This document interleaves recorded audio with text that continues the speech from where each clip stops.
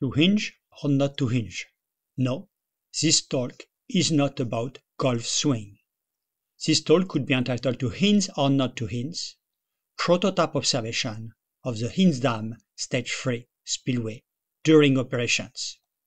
The Hinze Dam Stage 3, completed in 2011, is equipped with a step spillway with a design discharge of 4,150 cubic meters per second, corresponding to the probable maximum flood.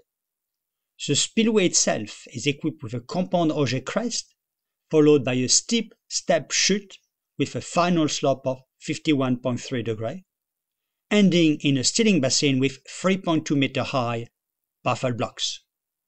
Field observations on measurement took place at the Hinze Dam Stage 3 spillway during major floods in 2013, 2015, 2017, 2021, and 2022.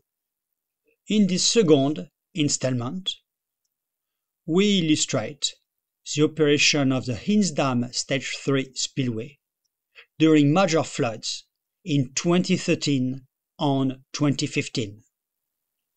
The 2013 Hinze Dam spillway operation took place during the 2013 Australia Days flood event, which was caused by the ex-tropical cyclone Oswald, bringing an unprecedented rainfall of over 1.3 meter in the upstream catchment of the Hinze Dam. The video was taken on the 29 January with a discharge of 202 cubic meter per second, unit discharge of 16.5 square meter per second, on a Reynolds number of 6.610 to the 7. The flow over the spillway is skimming flow. On the first video show a view from downstream, while the second video show a view from above the spillway looking downstream, highlighting in particular the very strong interaction between turbulence and free surface net with the inception of free surface aeration. This video was in fact presented first at the 2013 International Conference on Multiphase The 2015 flood event was caused by east coast low of the Fraser Coast, bringing 100 to 200 mm in the Hinze Dam catchment.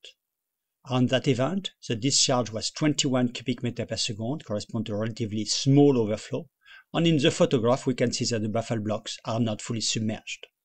The movie shows high-speed movie recorded at 240 frames per second on replay only at one eighth of its normal speed, with a unit discharge of 1.7 square meter per second, and a dimensionless discharge average of 0.44, corresponding to the upper range of a nappe flow regime. In conclusion, these videos of a large dam spillway in operation emphasize that water engineering is not a desk job for desk jockey.